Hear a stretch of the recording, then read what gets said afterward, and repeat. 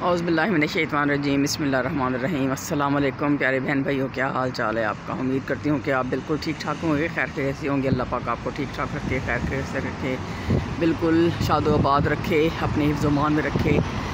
जहाँ कहीं भी आप हैं, जिस भी मुल्क में आप हैं, अल्लाह पाक आपको तमाम दुनिया जहान की खुशियाँ नसीब करे, आपके बच्चों को नेक ताबेदार बनाए, आपके बच्चों की किस्मतें चाँद सितारों की तरह चमकती हुई करे। उनको अच्छे जीवन साथी अता फ़रमाए, नेक और सवालहीन, और आगे से उनको औलाद, अच्छी, नेक, सवालहीन अता फ़रमाए। अल्लाह पाक आप सबको तफीक दे के आप अपने माँ बाप की बेहद इज़्ज़त, एहतराम कर सकें, उनके लुक कर सकें, उनकी खिदमत कर सकें। जब तक वो इस दुनिया में हैं, ज़िंदा हैं, जिनकी, जितनी भी उनकी लिखी हुई है, अल्लाह ने उम्र उनका ख्याल रखें, उनकी इज़्ज़त करें, उनकी रिस्पेक्ट करें, उनकी देखभाल करें। बिल्कुल इसी तरह जैसे बचपन में आपको उन्होंने पाला था, बहुत ही मोहब्बत और प्यार के साथ और माँ अपने परों के नीचे हमेशा आपको दबाए रखती थी, कोई दुख तकलीफ़ नहीं आने देती थी और हमेशा कहती थी कि आप मेरी औलाद को तरतीब आवे ना लगे। तो इसी तरह जब वो बूढ़े हो जाते हैं, अल्लाह पाक ने कुरान में बार बार ज़िक्र किया है अपने बंदों को कि अपने माँ बाप का इसी तरह ध्यान रखें, क्योंकि जब वो बूढ़े हो जाते हैं माँ बाप तो वो बिल्कुल बच्चों की तरह हो जाते हैं, वो चिड़चिड़े भी हो जाते हैं, वो फील भी करते हैं, जब आप उनको इग्नोर ज़रा कर दें या घूमने फिरने या ऐसे उधर उधर चले जाएँ या उनसे कोई मशवरा, सलाह मशवरा ना लें या कुछ ना करें तो वो चिड़चिड़े भी हो जाते हैं। तो हम सबने बूढ़े होना है बहन भाइयों, हम सब पे ये सारी स्टेजेस आनी है, बचपन भी आया, जवानी भी आई, बढ़ापा भी आएगा, सब कुछ आएगा हम सब के ऊपर। और हम सबने ये सारा कुछ फेस करना है। और जैसा आप करेंगे, वैसे ही आपको बदले मिलेंगे। तो अल्लाह पाक हम सबको हदायत दे, हम सबको यही तोफ़ी दे कि हम अपने माँ बाप की बेहसाब, इज़्ज़त, एहतराम कर सकें।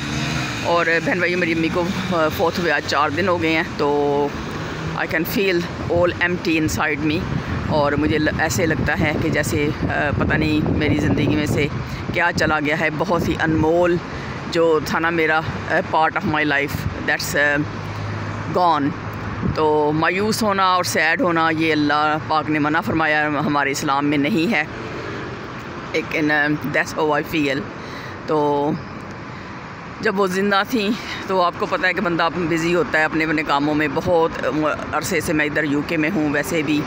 तो पाकिस्तान जाना, बस मिलना, मिलाना, ये वो सारा कुछ, फ़ोन पे बात हो जानी। तो बहुत कम स्पेंड किया मैंने टाइम अपने पेरेंट्स के साथ because I was very young when I got married and came to UK तो बहुत ज़्यादा मैं अपनी मदर को मिस कर रही हूँ बहन भाइयों। मैं बता नहीं सकती आपको कि मैं अपनी माँ को, क्योंकि मैं फ़ोन पे बात कर रही थी। जिस दिन वो फोत हुई हैं फ्राइडे वाले दिन, सुबह मैंने उनसे बात की है। और और काफ़ी लंबी बात उस दिन। अल्लाह की तरफ़ से बस लंबी बात होगी। नॉर्मली मैं कम बात करती हूँ, लेकिन उस दिन काफ़ी लंबी बात हो गई तो अब मैं सोचती हूँ कि काश थोड़ी सी और लंबी मैं बात अपनी माँ से कर लेती। तो उसी रात को फिर वो Friday night about twelve one o'clock at night midnight वो उनकी तबीयत अचानक ख़राब हुई और उनकी वो फौत हो गई। तो बस हम सबसे को बस अल्लाह पाक हदायत दे के हम अपने माँ बाप की इज़्ज़त, एहतराम और उनकी लुक कर सकें। मैं बार बार अपनी वीडियोस इसी मौजू पे बना रही हूँ, बहन भाइयों, क्योंकि मैं इतना मिस कर रही हूँ कि मैं, आप मेरी हर वीडियो देखेंगी, मेरे हर वीडियो में मेरा सेम मैसेज होगा सेम बातें होंगी।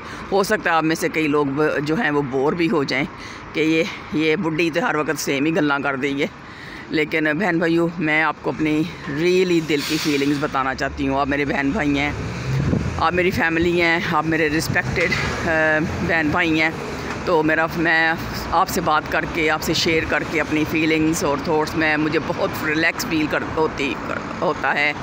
और हम जो बाहर के मुल्कों के लोग होते हैं ना बहन भाइयों अपने माँ बाप से अपनी फैमिली से जो बिछड़ गए होते हैं बस उनकी यही फीलिंग्स होती हैं मेरे बहन भाइयों। आप किसी से भी पूछ लें जिनकी जड़े मेरे जो भी मेरी बहनें हैं जिनकी शादियाँ दूसरे मुल्कों में हुई हैं उनकी एग्जैक्टली सेम फीलिंग्स मेरे जैसी होंगी। तो कदर करें और मैं यूके का मौसम भी मैं आपको दिखा दूँ। बहुत अच्छा मौसम है, माशाल्लाह। बारिश होती रही है, कल भी बारिश हुई है, आज भी बारिश होती रही है। तो टेरेस पे हो सकता है आप देख सकें पानी पानी सा है।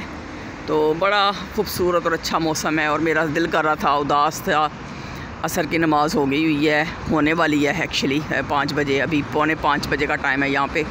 तो असर की नमाज़ होने वाली है तो मैं वेट कर रही थी तो मेरा दिल किया एकदम ही, बस घबराया मेरा दिल कि मैं अपने बहन भाइयों से बात करूँ शेयर करूँ, उनको दोबारा से वही अपनी मैसेज दूँ पेरेंट्स के बारे में।